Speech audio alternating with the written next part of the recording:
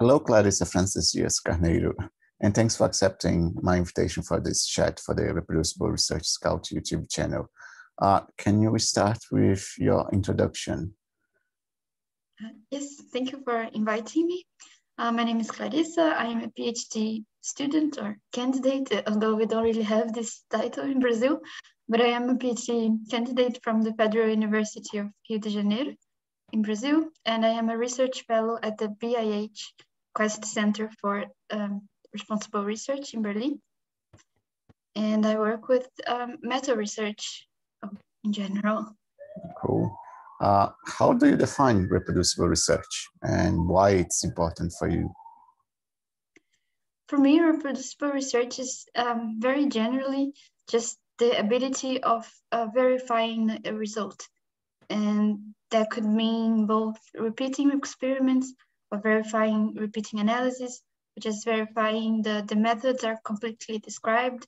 I think we can define research reproducibility um, with um, um, how do you say with uh, further adjectives to to say methods reproducibility or results or um, conclusions reproducibility, but um, very generally, I would just say that it's just confirmation of a previous finding. And I think this is important. It's just a part of how the scientific method was built and should be conducted. And just to define what science is, it should be reproducible from the start. Cool. Uh, you are part of the Brazilian Reproducibility Initiative founded by the Instituto Serra Pilheira. Can you tell us what the Brazilian Reproducibility Initiative is and a little bit of how it, it started? Yeah, yeah, sure.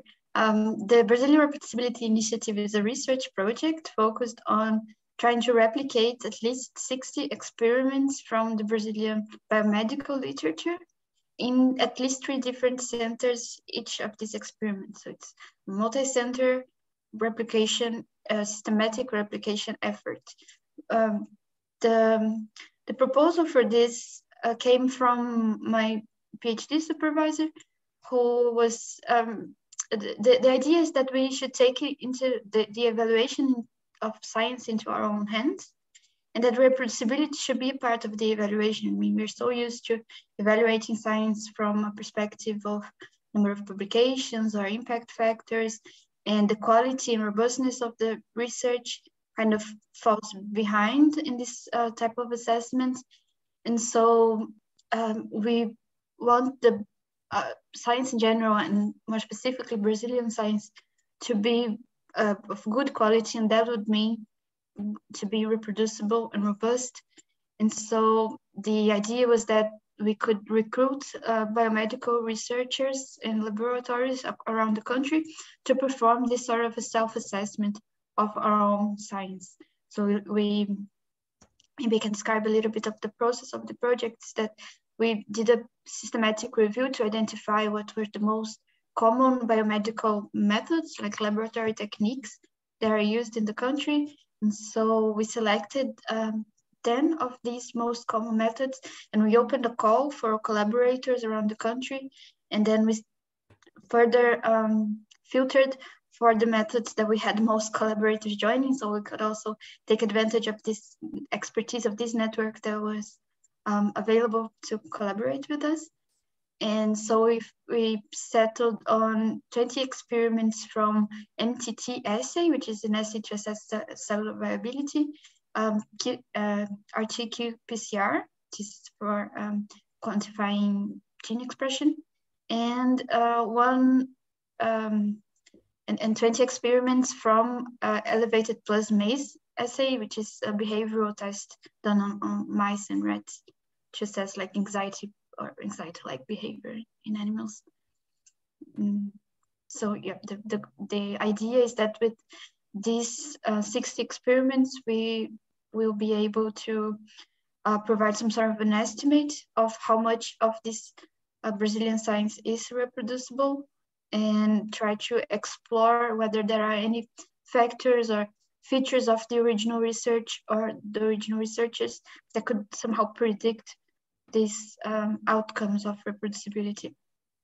Very cool. Uh, what was the outcome of that? uh, if it, if it was already reported. Yeah, no, it's ongoing actually. With the pandemic, there was a lot of delay because of the labs were closed down entirely or just very much restrict with restricted access. So they could not um, make our experiments a priority. Um, so they had their own research projects, and a lot of them were actually working on COVID research from the beginning. So that was really cool. But unfortunately, that meant a lot of uh, delays for us. We hope to have uh, the results by the end of this year. I'm very interesting to hear your findings. So let's move a little bit for other interesting projects that you are involved. Uh, you are one, uh, you have been leading the reproducibility uh, journal club in Brazil. Can you tell us how the ReproducibiliTea is organized in Brazil? Uh, yes, we started this in 2020. So the idea was that everybody was home and we should continue to discuss and continue to talk about science, even though we couldn't be in the labs. And so we did this online uh, different from other reproducibility journal clubs, we are not focused on any department or institution. We did the national journal club as it was online. It was easy for, for us to do it like that, but still very focused on biomedical research, right? And we did uh, one um, month, one meeting per month, and where uh, any one could present a paper and then we would follow up with a discussion of this paper. and then um, these presenters were usually early career researchers or students. So, and, and also most of our audience actually was was students and that was really cool to, to be able to, to discuss these um, papers. We started with like a very traditional reading list for reproducibility team in, in general. So not so, it wasn't a journal club focused on most recent findings. It was also very much focused on classical, like reproducibility literature, if I could call it like that.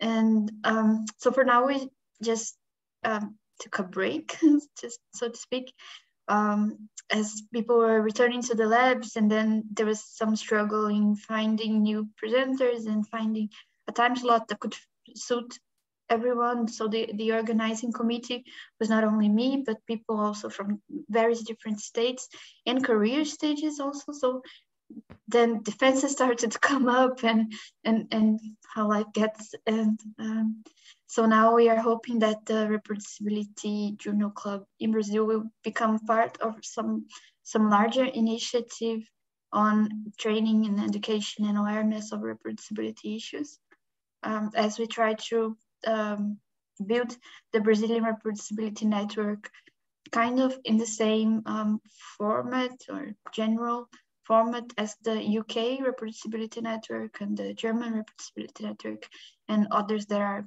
coming up in mostly in Europe, but also in other places. So you mentioned that both projects that we were previously discussing, the Brazilian Reproducibility Initiative and the Reproducibility Journal Club, they kind of uh, fast, uh, promoting the widespread of the reproducible research idea in Brazil that now is start to forming this idea of uh, open reproducibility network in Brazil. Uh, what other changes do you see on the Brazilian research landscape in terms of reproducibility and cultural change? Mm in general, I, I, I still see it as a big challenge. Any any kind of cultural change is, is a major challenge, but I don't think we're falling behind on international research in any kind of in, in any, any measure really. Um, I don't think I can um, really see an impact, immediate impact of these initiatives that um, that we were talking about. I hope with the results of the Brazilian Reproducibility Initiative, we can have we can further debate on on, on the topic. But I think there are some small changes that I could see and talk to people about. And this is not systemic. This is not necessarily changing culture, but they are changing their practices in the lab. So people from the reproducibility uh, journal clubs that were attending and were discussing like how to do an experiment in the best way, or how to report, or how to uh, manage their data. And also from our collaborators, I also received some nice feedback on how we, because we try to make our own process so reproducible to and, and transparent mostly for these um, re replication experiments they um, some people mention like this makes them think about how they do their own research and how they can take some of the things that we enforced in a way for, for the transparency of this replication, but they could also bring that to, to their own research and, and seeing that as beneficial. So I think that's really cool. And uh, maybe it's not going to be a very fast or dramatic change that we can see, but I think maybe with this students and postdocs growing in their careers that could lead the change forward and then become something more widespread. Uh, have you noticed any uh, support for the funding agencies in Brazil to reproducibility in general? Because I mentioned earlier that the Brazilian Reproducibility Initiative is being funded by Instituto Serrapilheira, which is like a private uh, funder uh, in Brazil but it's not the biggest one. It's the smallest research funder in Brazil. What is your experience with the other big funders? Um, not so good. um, so we actually see this as a little bit of a contradiction to have a private funder sort of supporting the assessment of public funded uh, research that was done previously, but we did not have very good experiences with the evaluation of the projects or of the people involved in the project um, by the this agency. So of course, I had a, a scholarship from the uh, CNPq, which is like one of the largest funders, governmental funders, but that type of uh, scholarship is not really linked to any project. So it's linked to the graduate program and they can do their own selection process and assign to students. But um, whenever we had applied for postdoc positions or this productivity um, grants for, for principal researchers, um, we, we got mixed feedbacks, I think, from this from the reviewers of these uh, grants. So yeah, but but then from mixed reviews, maybe this is also uh, impacted by the fact that Brazilian science is um, suffering from so much budget cuts that if it's a mixed evaluation, then it's not funded, or maybe um, we can't really say that because we already have a funding from a private funder, which is kind of rare still because these funders are so small and so few. Uh, but this is still um, seen as some sort of a positive thing that we, we have this.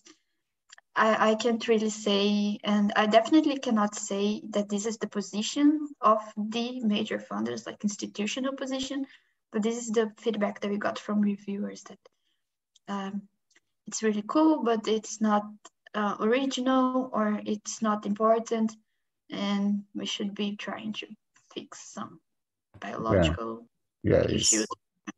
Yeah. The, the importance of reproducibility, as you mentioned at the beginning, to the uh, verification of science and building uh, or uh, confirmation of the knowledge, but it's not what usually is being funded by general, in general, the funders, which is like new discovery uh, by researchers. Uh, mm. our time is running a little bit out. Uh, there's any other interesting project that you want to share with our audience? Mm. So uh, there are two spin-off projects from the Brazilian, uh, actually one spin-off and one project that preceded the Brazilian Reproducibility Initiative, but it's a, like a hackathon, a meta research project. It's about to um, close actually the the um, sorry the the the dates for applying the application sorry. And um, and the other is the the BRISA the Brazilian Reproducibility Initiative for Systematic Reviews and Meta-Analysis which is also opening up for a, a, a, free and online course on systematic research and meta-analysis for preclinical researchers. So I think that's really cool and it's uh, um, another way to um, reevaluate and improve science and so uh, maybe I can share the links. Well, yes, we will include the link in the description of the video. Okay, uh, thank you, Clarissa. It was a pleasure to speak with you. And I hope that you have a good day and big success with your uh, PhD. Thank you. Thank you very much. Nice talking to you. Bye.